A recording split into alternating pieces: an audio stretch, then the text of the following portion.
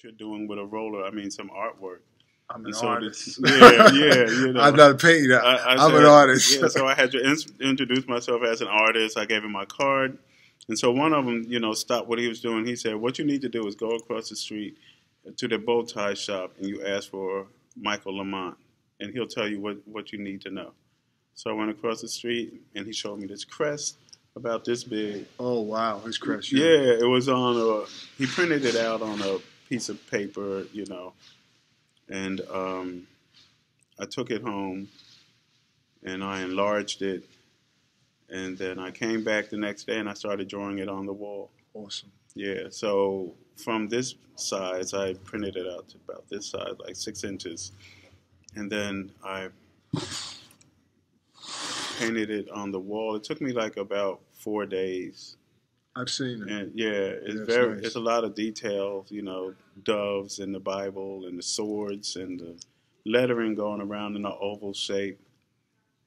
So um, he promised me that um, after I finish painting it, and if he likes it, he's going to send me to a big church that needs artwork. And he kept his word. I went to the next church called um, Good News Sounds of Pentecost, and um, it's on 15th Avenue off of 16th, and um, right close to South Orange Avenue. And so that guy told he I was so highly recommended that that guy just told me, well, the pastor he told me I'm just let you do your thing Wow. on this wall. I trust you. You know, I trust Pastor Lamont. So I told him that I was going to um, give him angels on the wall with a choir singing. And um, I promised him that it wasn't going to look like a funeral. You know, you know how you see Very majestic and in the clouds. Yeah, yeah. there were no clouds. The choir is actually in a church with stained glass windows, and the angel is joining them as music instructors. Is that outside of the church or inside? It's inside. It's in the pulpit. That'll, that'll so make, when the whole make me wanna go to congregation church now. comes in Yeah. and the music starts playing because they got a good choir, you know, um, you see the the mural behind them. The, the angels are actually directing the choir all the oh, time. I got you. Okay. Yeah. Nice, So nice. yeah, I was very happy to do that one. You have pictures of that, right? Yes. Okay. Yes. hmm I like to see that. What is the address of that church now? Um, what's it? What's the name of it? Um, Good News Sounds of Pentecost. Okay, we'll find it. We'll find Yeah. it.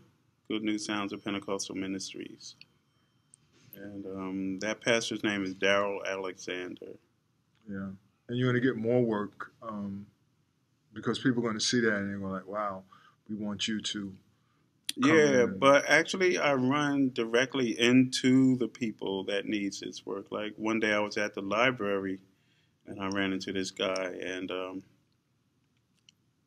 he said, "You know, you look familiar." I said, "Yeah, I was about to say that about you." And I guess we were like the same age, but he didn't look like anybody I went to school with. So I was getting these um, like self help DVDs, like Chicken Soup for the Soul, and you know a couple of more like that.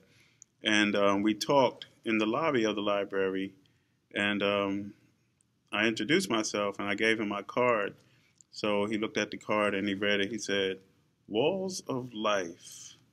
That's why I need to see you." And I said, "Yeah, it usually works like that." And he said, "My name is Malachi." And I said, "Oh," he said, "Pastor Malachi." And I felt like, what am I supposed to do? Bow to you or something, you know? But um, we started talking, and he said he needs something painted in his church.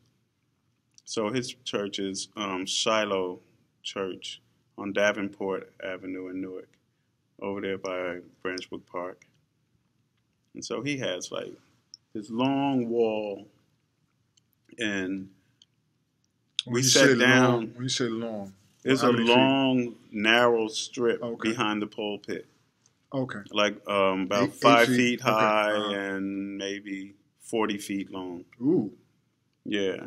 And so we sat down in the front in the pews and we talked about what his congregation needs to see every day that they come wow.